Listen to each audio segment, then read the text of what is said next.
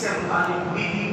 आज हम उसी गुफ्तु को आगे बढ़ाते हुए गुफ्तु को मुकम्मल करेंगे। मैंने कुरान शरीफ से वही आयत मुबारक तिलावत की जो पिछले जुमा तिलावत की थी। फरमाया, अल्लाह पाक ने, कुल इन्ना सलाती व नुसुकी व महया व ममाती रब्बिलमीन ला शरीक लहू व मृतु व अना अव्वलमुसलिमीन अय मेरे महबूब सल्लल्लाहु अलैहि वसल्लम, आप फरमा दो कि मेरा जीना, मरना, मेरी क़ुरबानी मेरी इबादतें सब कुछ अल्लाह ताला के लिए है। तो क़ुरबानी का जो अल्लाह रब्बुल इज़्ज़त ने कुरान करीम में ज़िक्र किया है, वो इशारे और किनाए में हुक्म दिया है। हुजूर सल्लल्लाहु अलैहि वसल्लम को डायरेक्ट और सरकार दो जहाँ सल्लल्लाहु अलैहि वसल्लम के सदक़े से पूरी उम्मत को इनडायरेक्ट। तो रसूल पाक सल्लल्लाहु अलैहि वसल्लम की पूरी उम्मत को हुक्म है का मतलब ये नहीं है कि ये हर गरीब व अमीर पर फ़र्ज़ नहीं। जैसा नमाज़ हर गरीबों के अमीर हो, मर्द हो के औरत हो, बच्चा बालिग होते ही बच्चा हो या फिर जो है ना जवान बच्ची हो, बूढ़ा आदमी हो या बूढ़ी औरत हो, हर एक पर नमाज़ फ़र्ज़ है। मुसाफिर हो के मुकीम हो सब के लिए। लेकिन क़ुरबानी का हुक्म ऐसा नहीं है कि हर जो है ना यानी कि बालिग पर फ़र्ज़ नहीं है, हर बूढ़े पर फ़र्ज़ नहीं है, हर औरत पर फ़र्ज़ नहीं है। हर गरीब पर फ़र्ज़ नहीं है। सिर्फ़ और सिर्फ़ किस पर वाजिब है ये? वाजिब सिर्फ़ उस शख्स पर है जो साहिब निसाब है। साहिब निसाब कौन है? पहली शर्त तो बताई मैंने पिछले जुमा भी, मुसलमान होना। मुसलमान नहीं है तो क़ुरबानी वाजिब नहीं होगी। दूसरी शर्त है, मुसलमान होने के साथ साथ जवान होना। अगर मुसलमान तो है लेकिन जवान नहीं हुआ तो उस सूरत में भी क़ुरबानी वाजिब नहीं होगी। मुसलमान भी है, जवान भी है। और साथ में वो क्या है? साहिब निसाब है। साहिब निसाब मतलब साहिब निसाब मतलब ये है कि अगर उसके पास सिर्फ़ और सिर्फ़ सोना है, सोने का मालिक है वो, चांदी भी नहीं है, रुपये भी नहीं है तो उस सूरत में उसके पास साढ़े सात तोले सोना मौजूद है और वो पूरे साढ़े सात तोले सोने का उन्हें अकेला मालिक है, कुर्बानी वाजिब हो जाती। एक हिस्सा तो भी देना, एक बकरा तो भी देना उन्हें। दूसरा, उसके पास सोना बिल्कुल है ही नहीं, सिर्फ़ और सिर्फ़ चांदी है। और चांदी का उन्हें अकेला मालिक है। तो कितनी चांदी रही तो कुर्बानी वाजिब होती? साढ़े बावन तोले चांदी रही तो कुर्बानी वाजिब होती। बात गोशे गुजार हुई। अब साढ़े बावन तोले चांदी से कम उसके पास चांदी मौजूद है, यानी बीस तोले, तीस तोले। तो उस सूरत में उन्हें गरीबों में शुमार होगा, अमीरों में शुमार ही ना होगा, कुर्बानी वाजिब नहीं होगी। अगरचे कि उन्हें मुसलमान भी है और जवान भी है, मगर इसके बावजूद उस पर कुर्बानी वाजिब नहीं होगी। दो बातें हो गई।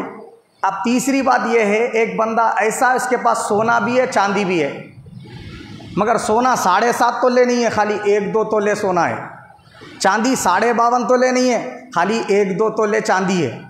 तो चांदी और सोना, दोनों थोड़ी थोड़ी मकदार में, एक दो तोला, एक दो तोला, और वो दोनों चीज़ों का उन्हें अकेला मालिक है तो उस सूरत में कुर्बानी वाजिब हो जाती। अब ये नहीं देखेंगे, साढ़े सात तोले सोना रहा तो वाजिब होती, साढ़े बावन तोले रहा तो वाजिब होती। बल्कि दोनों चीज़ें मौजूद है उसके पास, सोना भी है, चांदी भी है। तो उस सूरत में क्या करेंगे? एक तोला सोना, एक तोला चांदी भी है तो कुर्बानी वाजिब हो जाती। ऐसा क्यों? ऐसा इसलिए है कि जब दो चीज़ें मिलके मौजूद है तो ये देखेंगे एक चीज़ का निसाब पूरा हो रहा क्या? यानी वो एक तोला सोना बेच के साढ़े बावन तोले चांदी खरीद सकते ना?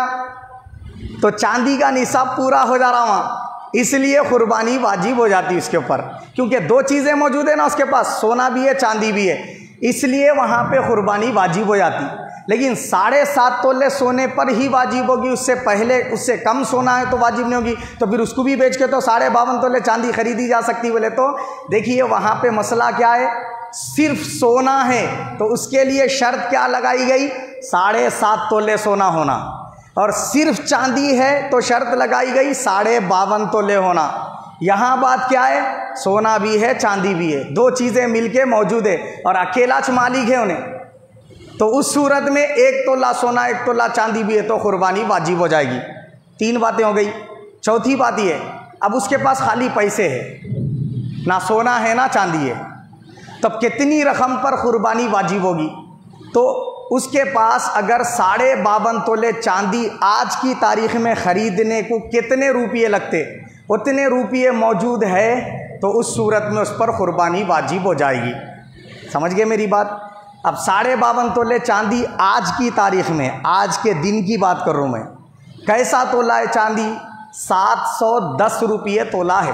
कैसा तोला है? आज की तारीख की बात करूँ। सात सौ दस रुपये तोला है। इस हिसाब से साढ़े बावन तोले चांदी की ओर सैंतीस हज़ार दो सौ पचास रुपये। जिस बंदे के पास इतनी रकम मौजूद है, भले वो रकम पे एक साल नहीं गुजरा, अभी चाहिए। उस सूरत में भी उसके ऊपर क़ुरबानी का एक हिस्सा या एक बकरा देना वाजिब है। नहीं देगा तो गुनहगार होगा। बात समझ में आ गई? क्या क्या बातें बताया हमें? मुसलमान होना और अक्ल वाला होना, जवान होना, अगर बेवकूफ़ है, बेवकूफ़ का मतलब दीवाना पागल है। दीवाना पागल है तो उसके ऊपर भी कुर्बानी वाजिब नहीं, अगरचे कि उन्हें मुसलमान है और जवान है और मालदार है, लेकिन कुर्बानी वाजिब नहीं होती। मुसलमान होने के साथ साथ अक्ल वाला होना, जवान होना, फिर इतने माल का मालिक होना जो मैंने तफसील बताई। तो उसी सूरत में कुर्बानी वाजिब होगी, वरना कुर्बानी वाजिब नहीं होगी। अब देखिए आप, दूसरी सूरत ये ज़क़़त में क़ुरबानी में थोड़ा सा फ़र्क है। क्या फ़र्क है? ज़क़़त बढ़ने वाले माल के ऊपर फ़र्ज़ है। बढ़ने वाले माल के ऊपर फ़र्ज़ है। और क़ुरबानी के लिए बढ़ने वाले माल का होना ज़रूरी नहीं है। बात समझ आई? और ज़क़़त के लिए एक साल गुज़रना शर्त है। एक साल नहीं गुज़रा तो ज़क़़त फ़र्ज़ नहीं होती। लेकिन क़ुरबानी के लिए एक साल माल पे गुज़रना फ़र्ज़ नहीं है। बग़ैर गुज़रे के क़ुरबानी वाजिब हो जाती। बात को शेख हुई? और इसी तरीके से ज़क़़त में क्या है? आपको ढाई परसेंट ज़क़़त अदा करने का है। क़ुरबानी में वैसा नहीं है। क़ुरबानी में खाली सेहतमंद और जो है ना, जो उम्र जानवर की रसूल पाक सल्लल्लाहु अलैहि वसल्लम ने अहादीस में मुतन फरमाई, वही उम्र वाला लेना या उससे बड़ी उम्र वाला लेना तो ही कुर्बानी होती। जैसा कि तफसील आप सुन चुके बकरे की उम्र कम अज़ कम एक साल होना। गाय, बैल, भैंस, खुलगा ले रहे तो इनकी उम्र दो साल का होना लाजिम है और ऊँट या ऊँटनी ले रहे तो पाँच साल के कम से कम उम्र के होना लाजिम है। इससे कम उम्र के रहे तो कुर्बानी नहीं दे सकते। फिर इनका उयूब से पाक होना भी ज़रूरी है। लंगड़ा नहीं रहना, अंधा नहीं रहना, दुम आधे से ज़्यादा कटी भी नहीं रहना, दूध का जो थन है वो कटा हुआ नहीं रहना, सिंग जड़ से उखड़े हुए नहीं रहना, या आधे से ज़्यादा कटे हुए नहीं रहना। समझ गए बात आप? बीमार नहीं रहना, लागर कमज़ोर नहीं रहना, ये सब क्या है? शरात है। अगर ये उयूब पाए गए तो फिर उस सूरत में वो जानवर क़ुरबानी के लिए काबिल कबूल नहीं होगा। तो जो आदमी पर कुर्बानी वाजिब है, वो ऐसे जानवर को लेकर या तो एक हिस्सा ले ले बड़े जानवर में, गाय, बैल, भैंस और जो है ना अपने खुलगा या ऊँट ऊँटनी में क्या है, सात हिस्से होते बोले सरकार। सात हिस्से से कम शरीक हो सकते, लेकिन सात हिस्से से ज़्यादा लोग शरीक नहीं हो सकते बोले सरकार। बात समझ में आ गई? ऐसे ही बकरा, बकरी मेंढा मेंढी में सिर्फ़ एक ही आदमी के तरफ़ से कुर्बानी होगी बोले सरकार। एक से जायद आदमी की तरफ़ से कुर्बानी नहीं हो सकती। हाँ अगर घर में खाली दस अफराद रहते हैं, एक ही फ़र्द पर कुर्बानी वाजिब है। अब उन्हें एक ही बकरा लेके आ गया और उन्हें ज़ुबा कर दिया अपनी तरफ़ से कुर्बानी में। बिस्मिल्लाही, वल्लाहु अकबर या बिस्मिल्लाह अल्लाह अकबर कह के ज़ुबा कर देने के बाद में अब उन्हें क्या कर रहा? ये कह रहा अल्लाह से अय मेरे परवरदिगार, ये जो कुर्बानी करने का मुझे सवाब मिला, ये सवाब में मेरे सारे घर वालों को हिस्सा आता फरमा। तो उस सूरत में क्या है? सवाब में इस तरह शामिल कर ले सकते आप। एक बकरे की कुर्बानी में पूरे घर वालों को सवाब में शामिल कर सकते, लेकिन जो वाजिब कुर्बानी है, वो एक आदमी की तरफ़ से एक ही होगी। समझ गया आप? ऐसा नहीं हो सकता कि दस अफराद घर में दस फर्दों पर कुर्बानी वाजिब है तो खाली एक बकरा दे दे तुम पूरे घर वालों की तरफ़ से हो जाती बोले तो नहीं होता ऐसा। बात समझ में आ गई? कुर्बानी के लिए लाजिम है, जिस जिस पर वाजिब है, उन्हें एक बकरा तो भी देना, एक हिस्सा तो भी देना। एक से जायद बकरे में कोई भी हिस्सा नहीं ले सकता। बात गोशे गुजार हो गई। आगे चलिए आप। कुर्बानी के लिए रसूल पाक सल्लल्लाहु अलैहि वसल्लम ये हुक्म बयान फरमाया और और एक शर्त उसके लिए ये है कि जो साहिब निसाब शख्स है, वो अभी साहिब निसाब नहीं हो रहा। मिसाल के तौर पे उसके पास दस हज़ार रुपये है अब दस हज़ार रुपये का मालिक है उन्हें। तो क्या कुर्बानी वाजिब होगी? तो पहले ये देखना उन्हें, उसके पास हाजत असलिया से जायद क्या क्या चीज़ें हैं?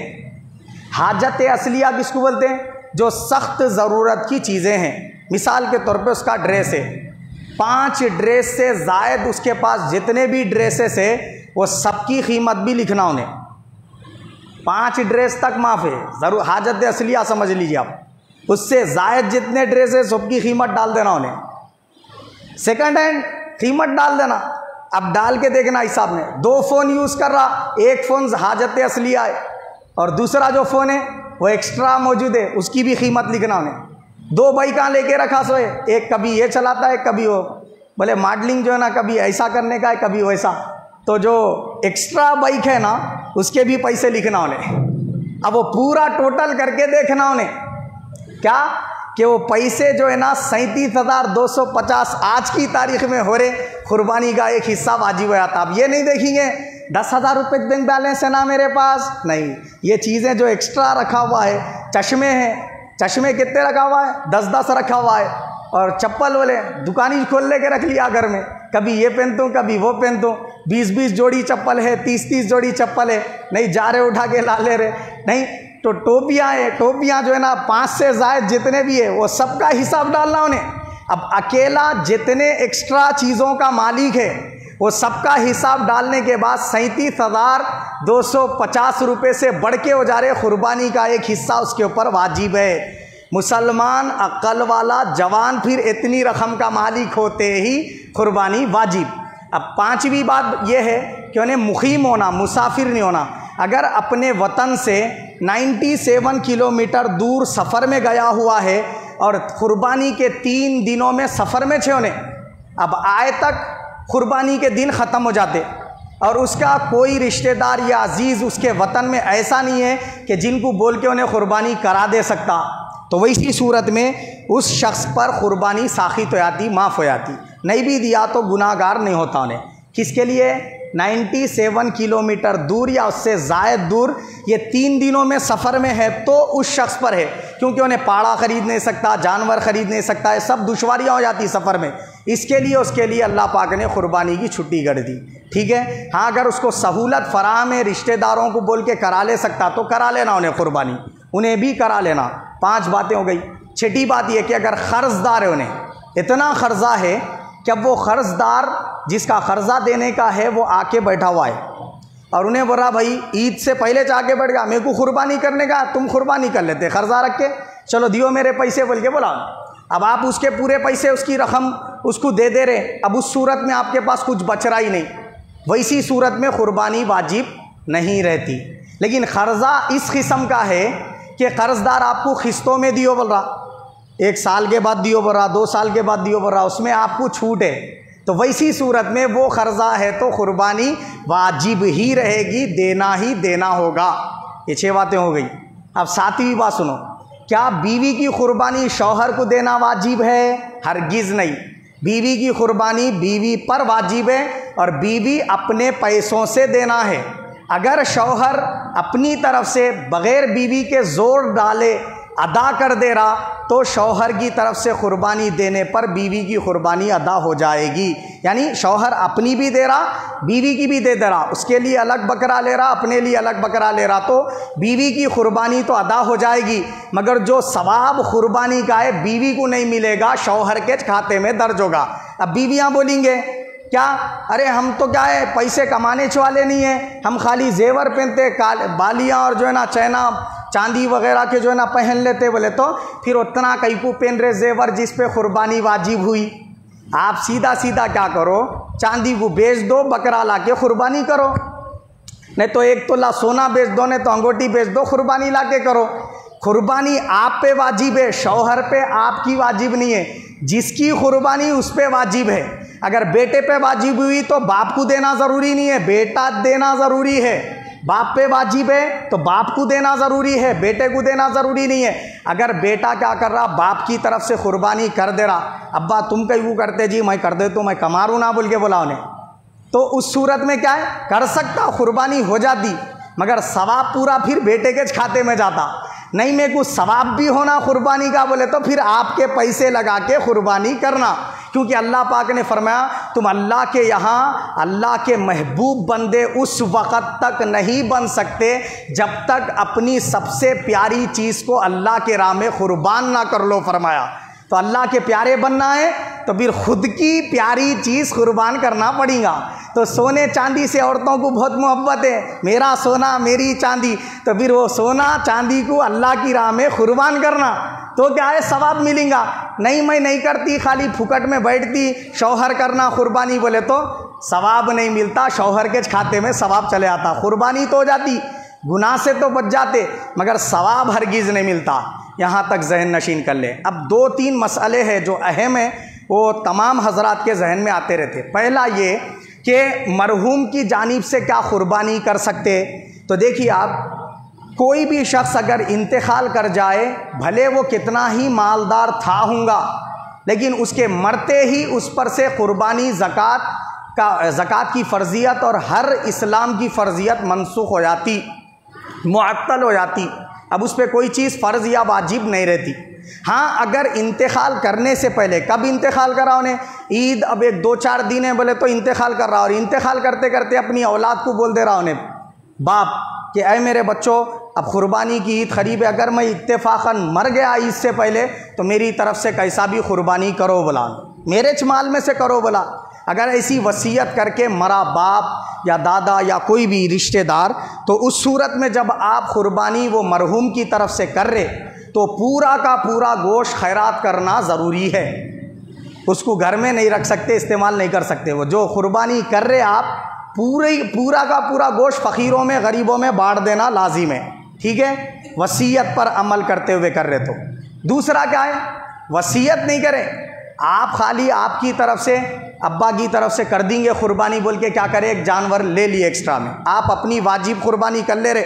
फिर अल्लाह ने आपको बहुत माल दिया है, अपने वालिद साहब या दादा वगैरह की तरफ़ से करना चाह रहे। तो कर सकते बिल्कुल।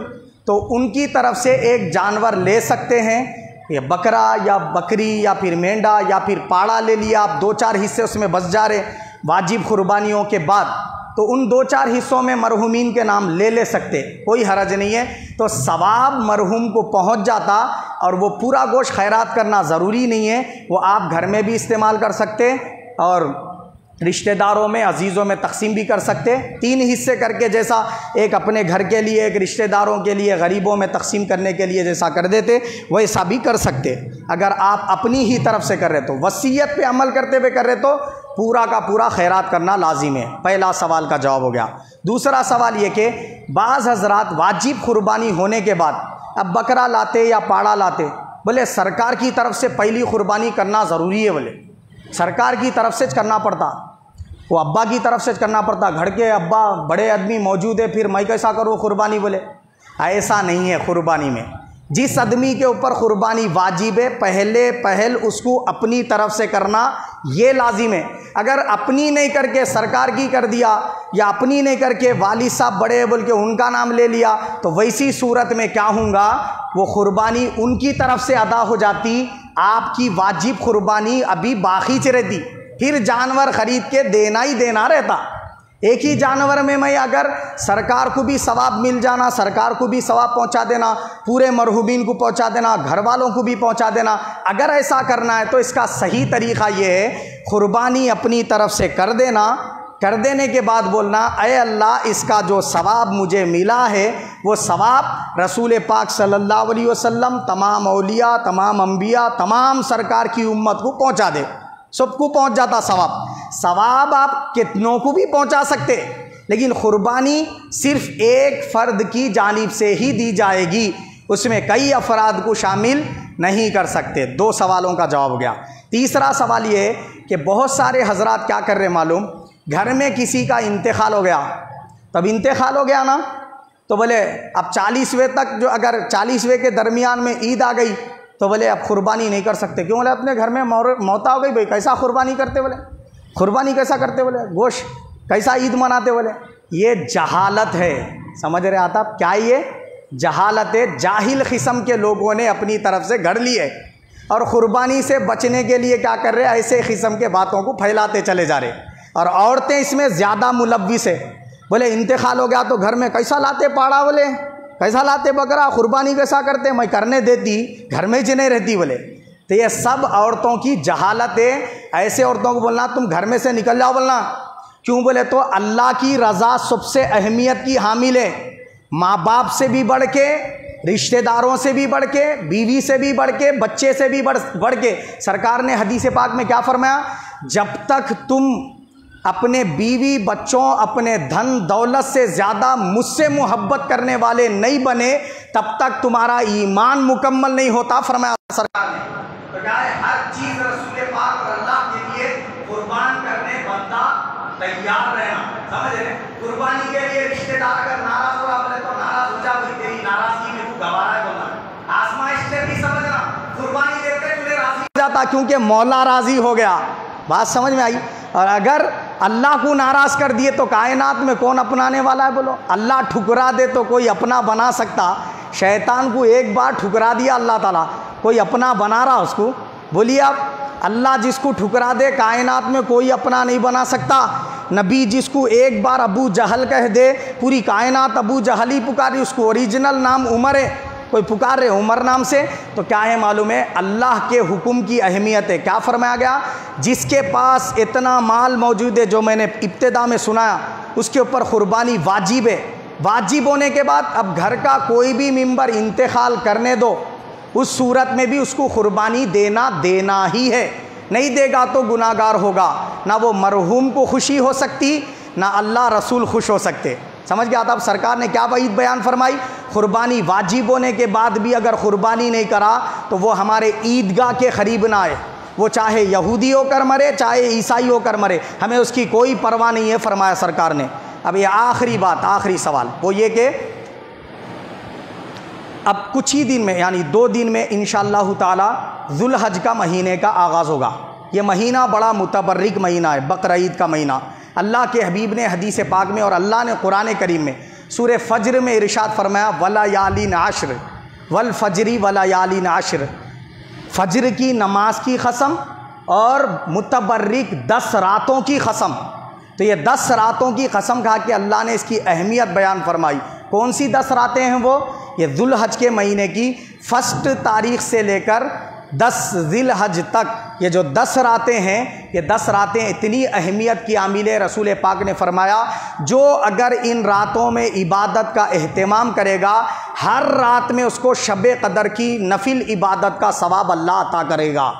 ये एक एक रात इतनी फजीलत की हामिल है। और ये दस दिनों में, नौ दिनों में, ईद के दिन तो रोज़ा रखना हराम है, दस दिल हज को ईद अज़हा को। लेकिन उससे पहले जो नौ दिन है, उन नौ दिनों में रोज़ा रखना जायज़, बल्कि बड़े सवाब का बाइस है। अल्लाह के हबीब ने फरमाया, जो बंदा एकुम ज़िल हज से लेकर नौ ज़िल हज तक रोज़ा रखता है तो अल्लाह रब्बुल इज़्ज़त उसको हर दिन के बदले एक साल के नफिल रोज़ों का सवाब अता फरमाता है। और जब नौ दिल हज को रोज़ा रखता है तो दो साल के नफिल रोज़ों का सवाब अल्लाह उसको अता फरमाता है। तो ये दिन भी बड़े मुतबर्रिक हैं, राती भी, रातें भी बड़ी मुतबर्रिक है तो इसमें हर किस्म के हमको गुनाहों से इजतनाब करना चाहिए, ज़िंदगी भर भी इजतनाब करना चाहिए।